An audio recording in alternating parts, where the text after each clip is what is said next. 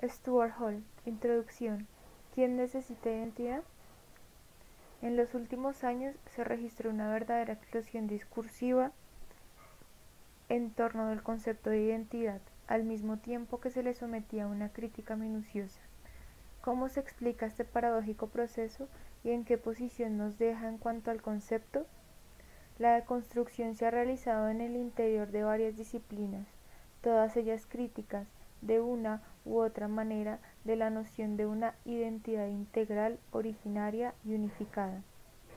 La filosofía planteó en forma generalizada la crítica del sujeto autónomo situado en el centro de la metafísica occidental postcartesiana. El discurso de un feminismo y una crítica cultural influidos por el psicoanálisis desarrolló la cuestión de la subjetividad y sus procesos inconscientes de formación. Un yo incesantemente performativo fue postulado por variantes celebratorias del posmodernismo.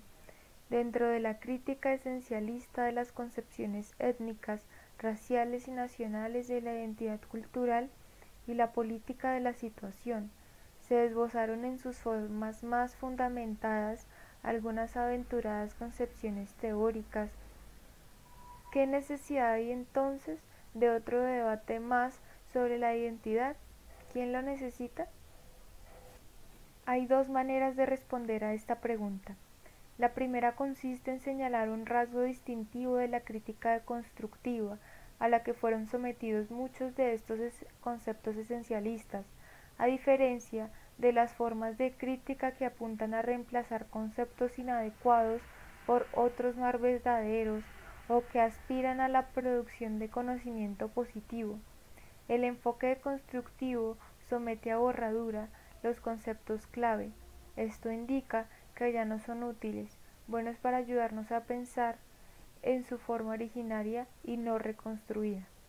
Pero como no fueron superados dialécticamente y no hay otros conceptos enteramente diferentes que puedan reemplazarlos, no hay más remedio que seguir pensando en ellos, aunque ahora sus formas se encuentren destotalizadas o deconstruidas y no funcionen ya dentro del paradigma en que se generaron en un principio. Hall 1995. La línea que los tacha permite, paradójicamente, que se les siga leyendo. Derrida describió este enfoque como pensar en el límite, pensar en el intervalo, una especie de doble escritura.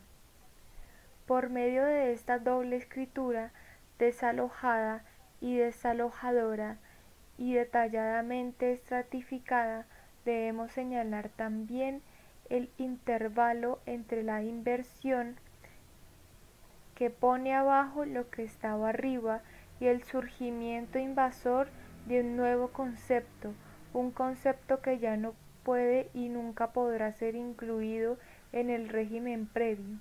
Derrida, 1981. La identidad es un concepto de este tipo que funciona bajo borradura, en el intervalo entre inversión y surgimiento, una idea que no puede pensarse a la vieja usanza, pero sin la cual ciertas cuestiones clave no pueden pensarse en absoluto.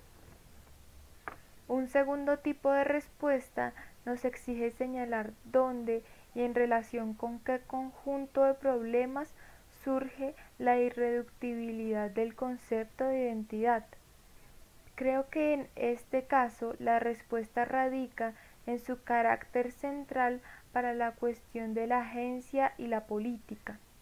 Cuando hablo de política me refiero a la significación del significante identidad. En las formas modernas de movilización política, su relación axial con una política de la situación, pero también a las dificultades e inestabilidades notorias que afectaron de manera característica todas las formas contemplatorias y contemporáneas de la política identitaria. Al decir agencia, No expreso deseo alguno de volver a una noción no mediada y transparente del sujeto o de la identidad, como autores centrados de la práctica social o de restaurar un enfoque que coloca su propio punto de vista en el origen de toda historicidad, el cual en síntesis lleva a una conciencia trascendental. Foucault 1970 Coincido con Foucault en que no necesitamos aquí una teoría del sujeto cognoscente, sino una teoría de la práctica discursiva. Creo, sin embargo, que como lo muestra con claridad la evolución de la obra de Foucault, este descentramiento no requiere un abandono o una abolición del sujeto, sino una reconceptualización. Pensarlo en una nueva posición desplazada o descentrada dentro del paradigma. Al parecer, la cuestión de identidad, o mejor, si se prefiere destacar el proceso de sujeción a las prácticas discursivas y la política de exclusión que todas estas sujeciones parecen entrañar, la cuestión de la identificación se reitera en el intento de rearticular la relación entre sujetos y prácticas discursivas. La identificación resulta ser uno de los conceptos menos comprendidos, casi tan tramposo como identidad, aunque preferiblemente a este, y sin duda no constituye garantía alguna contra las dificultades conceptuales que han acosado a este último. Su uso implica extraer significados tanto del repertorio discursivo como del psicoanalítico, sin limitarse a ninguno de los dos. Este campo semántico es demasiado complejo para desentrañarlo aquí, pero al menos resulta útil establecer de manera indicativa su pertinencia para la tarea en cuestión. En el lenguaje del sentido común, la identificación se constituye sobre la base del reconocimiento de algún origen común o unas características compartidas con otra persona o grupo, o con un ideal y con el vallado natural de la solidaridad y la lealtad establecidas sobre este fundamento. En contraste con el naturalismo de esta definición, el enfoque discursivo ve la identificación como una construcción, un proceso nunca terminado, siempre en proceso. No está determinado en el sentido de que siempre es posible ganarlo o perderlo, sostenerlo o abandonarlo, aunque no carece de condiciones determinadas de existencia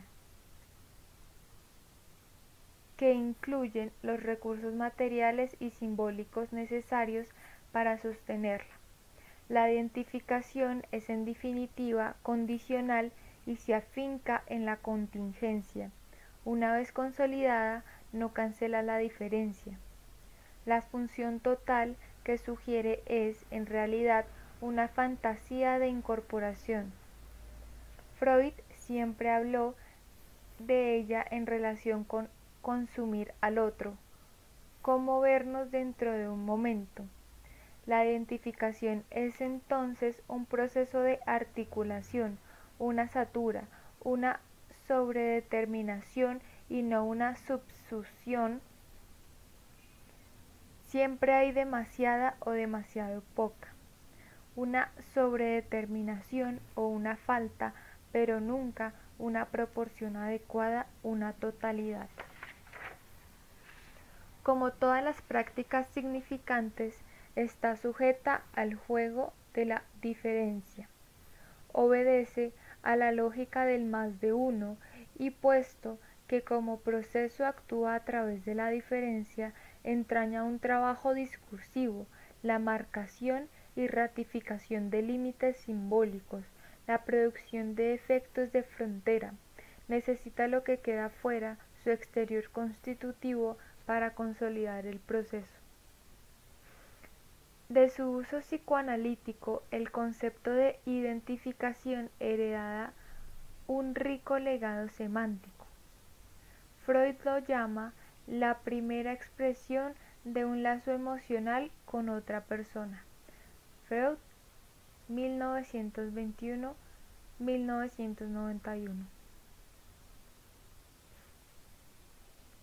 Con el concepto del complejo de Edipo, sin embargo, toma las figuras parentales como objeto a la vez amoroso y de rivalidad, con el cual instala la ambivalencia en el centro mismo del proceso. La identificación es, de hecho, ambivalente desde el comienzo mismo.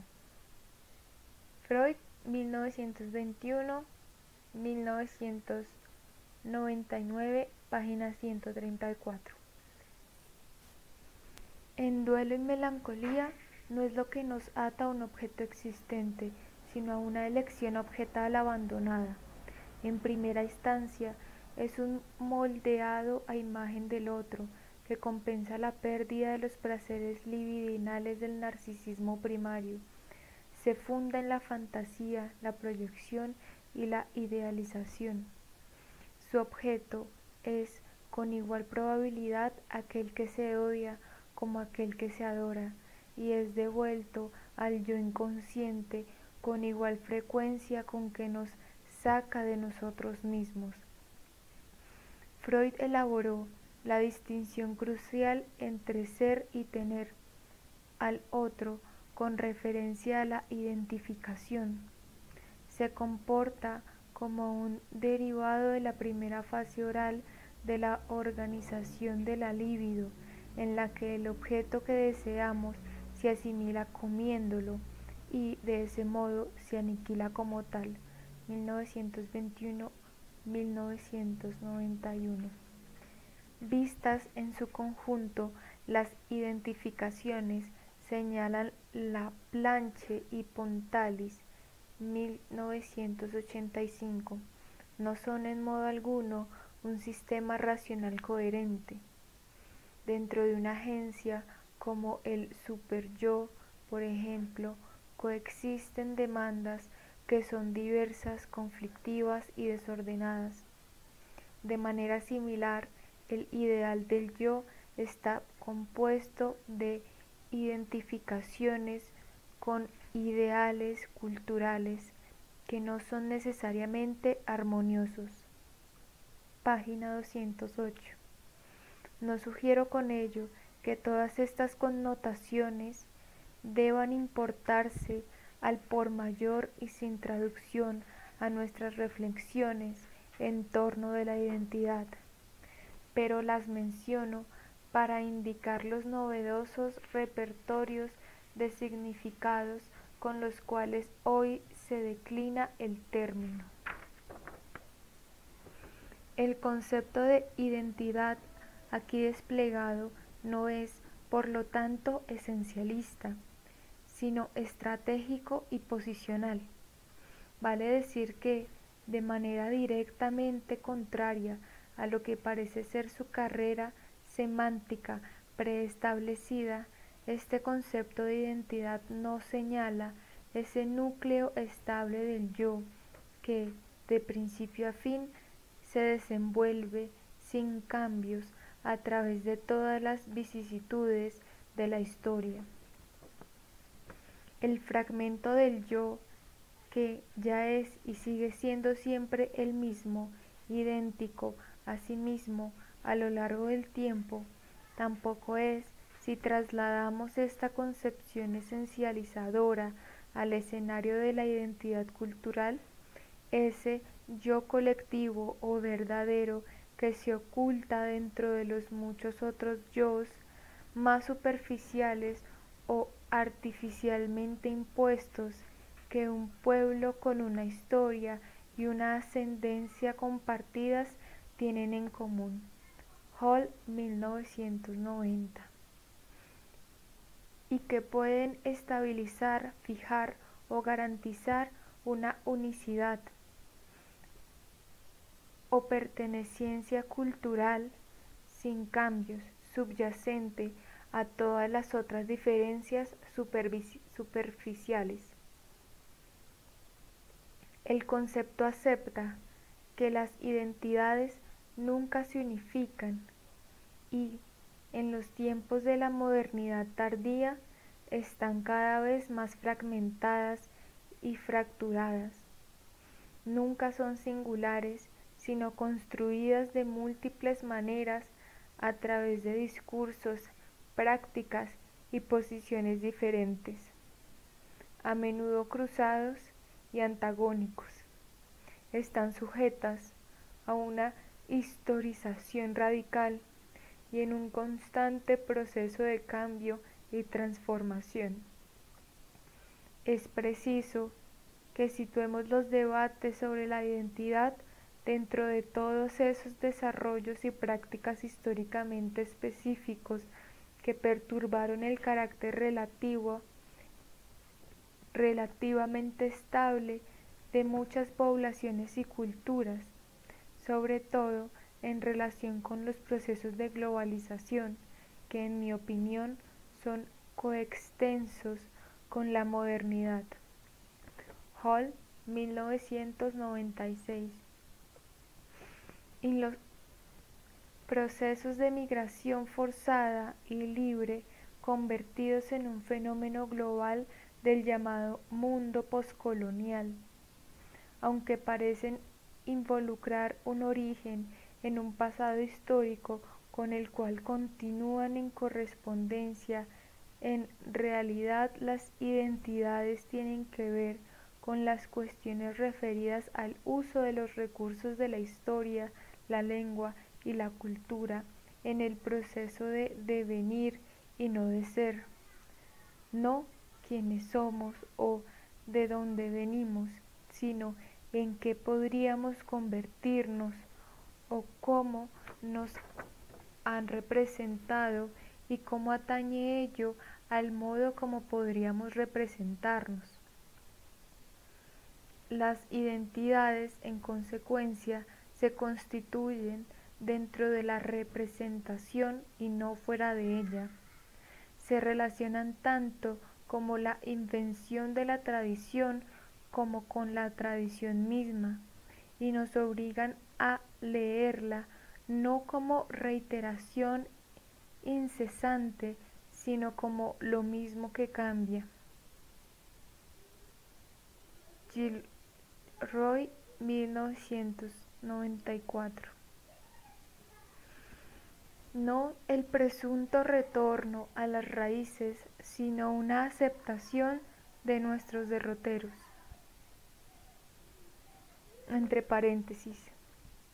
El autor hace aquí un juego entre las palabras rot y raíces y routes, rumbos, caminos, derroteros, que son casi homófonas. Esto debido a la traducción del inglés al español. Continúo. surgen de la narrativización del yo, pero la naturaleza necesariamente ficcional de este proceso no socava en modo alguno su efectividad discursiva, material o política, aun cuando la pertinencia, la sutura en el relato a través de la cual surgen las identidades resida en parte en lo imaginario, así como en lo simbólico, y por lo tanto siempre se construya en parte en la fantasía o al menos dentro de un campo fantasmático.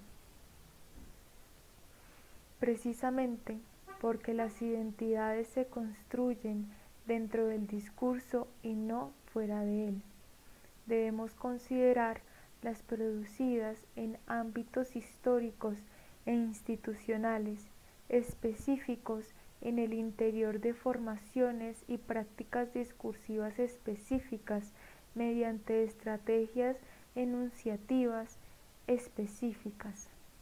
Por otra parte, emergen en el juego de modalidades específicas de poder, y por ello son más un producto de la marcación de la diferencia y la exclusión que es signo de una identidad o una idéntica y naturalmente constitutiva, una identidad en su significado tradicional, es decir, una mismidad omniabarcativa, inconsutil y sin diferenciación interna. Sobre todo, y en contradicción directa con la forma como se las evoca constantemente, las identidades se construyen a través de la diferencia, no al margen de ella.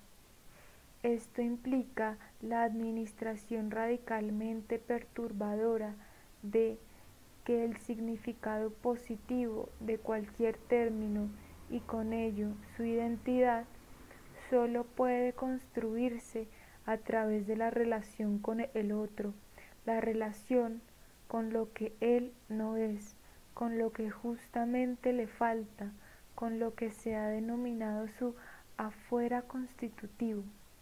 Derrida, 1981. A lo largo de sus trayectorias, las identidades pueden funcionar como puntos de identificación y adhesión solo debido a su capacidad de excluir, de omitir, de dejar afuera, abyecto. Toda identidad tiene como margen un exceso, algo más, la unidad, la homogeneidad interna que el término identidad trata como fundacional. No es una forma natural, sino construida de cierre, y toda identidad nombra como su otro necesario, aunque silenciado y tácito aquello que le falta. La Clau 1990 sostiene con vigor y persuasión que la constitución de una identidad social es un acto de poder, dado que si una objetividad logra afirmarse parcialmente, solo lo hace reprimiendo lo que la amenaza.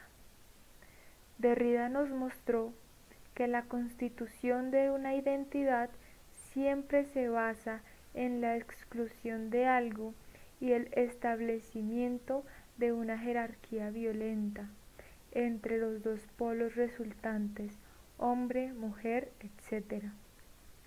Lo peculiar del segundo término queda así reducido a la función de un accidente en posición al carácter esencial del primero. Sucede lo mismo con la relación negro-blanco, en que el blanco, desde luego, es equivalente a ser humano, mujer y negro son entonces marcas. Esto es, términos marcados en contraste con los términos no marcados, hombre y blanco. La Clau 1990. De modo que las unidades proclamadas por las identidades se constituyen en realidad dentro del juego del poder y la exclusión y son el resultado no de una totalidad natural e inevitable o primordial, sino del proceso naturalizador y sobredeterminado de cierre. Baumbach, 1994. Hall, 1993. Si las identidades solo pueden leerse a contrapelo, vale decir específicamente no como aquello que fija el juego de la identidad de la diferencia en un punto de origen y estabilidad, sino como lo que se construye en o a través de la diferencia y es constantemente desestabilizado por lo que excluye. ¿Cómo podemos entender su significado o teorizar su surgimiento? En su importante artículo Diferencia, Diversidad y Diferenciación, Aftar Bram 1992 formula una significativa serie de preguntas planteadas por estas nuevas maneras de conceptualizar la identidad. Pese a Fanon, todavía deben emprenderse muchos trabajos sobre el tema de la constitución del otro racializado en el dominio psíquico. ¿Cómo debe analizarse la subjetividad poscolonial racializada y de género?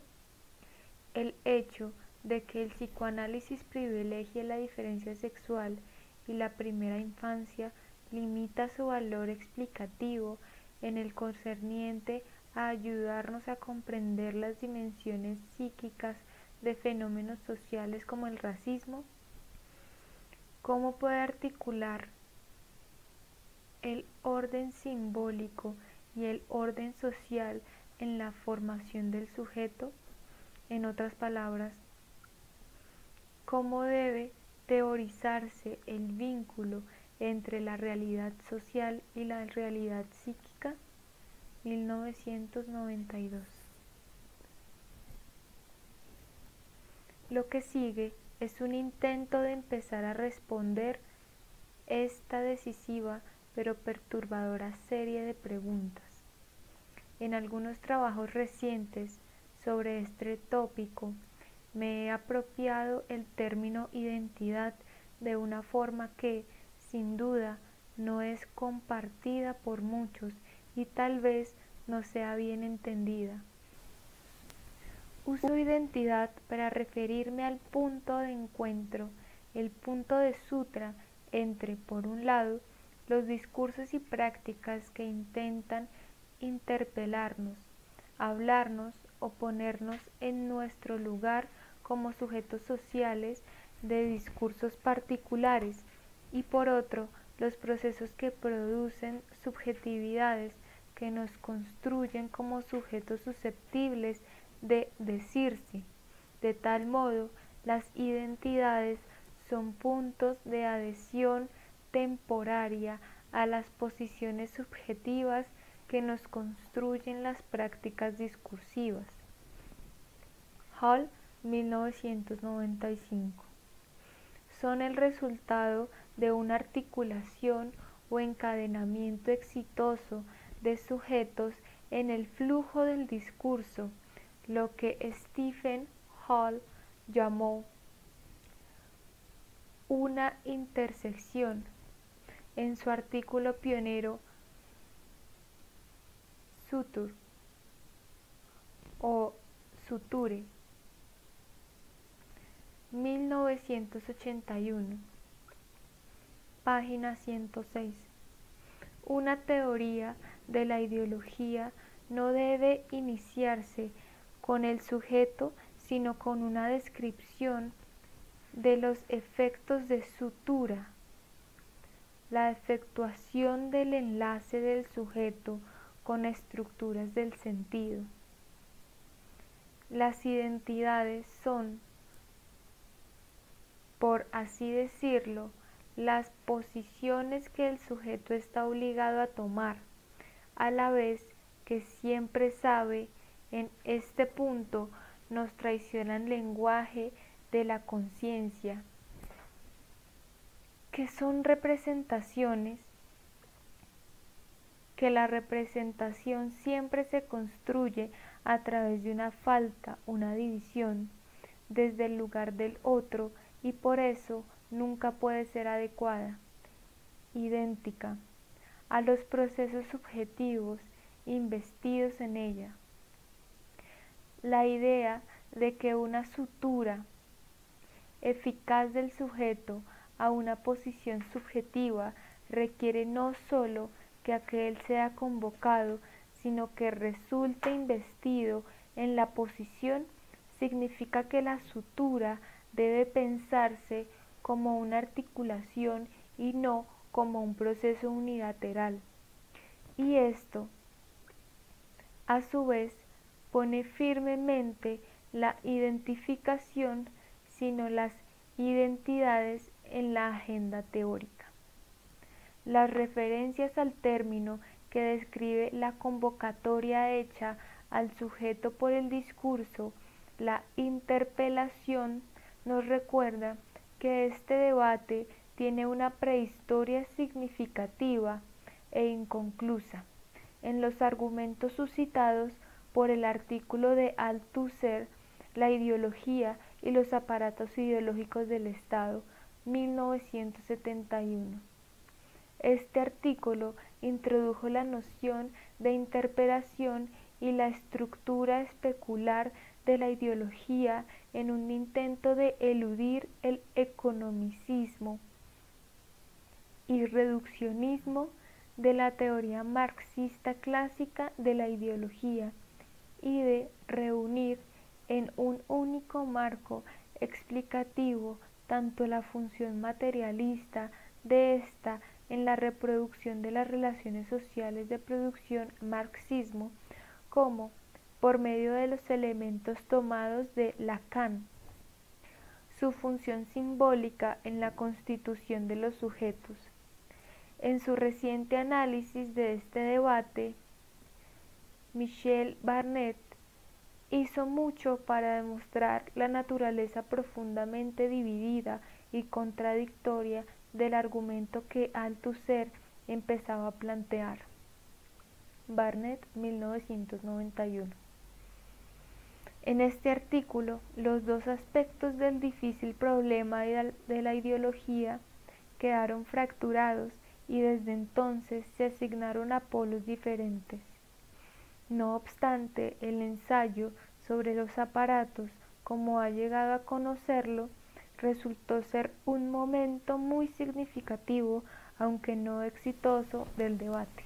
Jacqueline Rose, por ejemplo, sostuvo en Sexuality in the Field of Vision en 1986 que la cuestión de la identidad como se constituye y mantiene es por lo tanto el tópico central por medio del cual el psicoanálisis entra en el campo político.